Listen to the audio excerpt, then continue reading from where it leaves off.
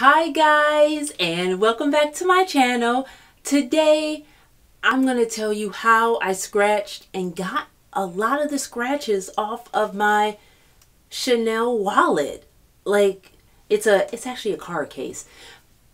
But oh my gosh. I ended up scratching it. I'm going to put down where I got this from as well. I ended up scratching it looking at it because I throw it just everywhere and it's held up really well. But this time I threw it where my keys were, which I never do. Not because I intentionally do that, but I just don't. I just have a separate place in my diaper bag and stuff like that for my keys. And this time I threw this in with my keys and it scratched it up. I'm going to insert pictures because I did the fix while uh, when when I saw this video I was like oh my gosh this is amazing and I don't know if you guys seen this but I'm going to pass it along to you because I thought it was amazing and it worked. It totally worked. So it got scratched up on the front, which sucks because, you know, that's the part that you look at all the time.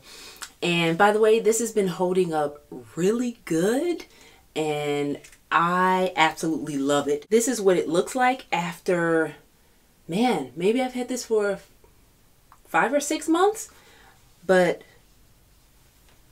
there's some indenting right here. I'm going to come up a little closer. And right here. And of course, back here where I open it and close it. But I don't put anything back here just because I feel like it's going to, you know, stick or I don't know. I just don't want to mess the back up, but I guess I can use the back. Uh, but the C's still look great.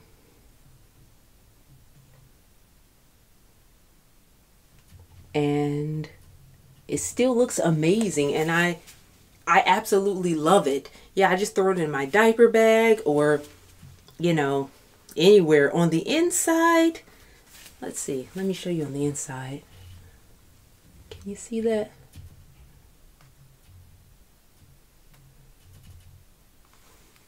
Nothing is messed up. My made in France is still there. I have a few crumbs here and there. But other than that, it's it's held up very well. Um, let me see. Is there anything on the side? You know what? Here's some here's some stuff on the side so you can see it. Actually.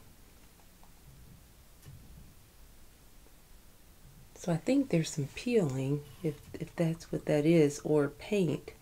I think that's more peeling. You know, on this side. I'm very hard on things, so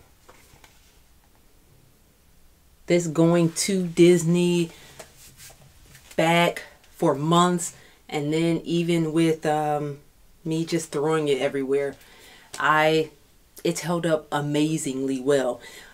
But let me get back to the scratch. I'm going to insert pictures of the scratch. And what you do is I put a um, a cotton shirt, like a t-shirt, cotton t-shirt, 100% cotton t-shirt, and steamed it. I didn't iron over it. I used the steam of the iron. Like that button, you fill up water and I steamed it. Yeah, just steamed it and I kept doing that until and you rub it over the cotton. You rub it a bit. Not a lot just and you keep doing it until the scratches start to come out. Amazing. Be gentle but it's amazing.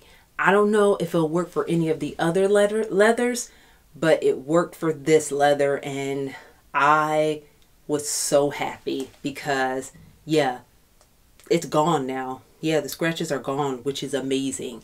Um, so yeah, I would recommend that. Just putting my stuff back in here. Don't want to forget, take out my wallet and, huh, there's nothing in there.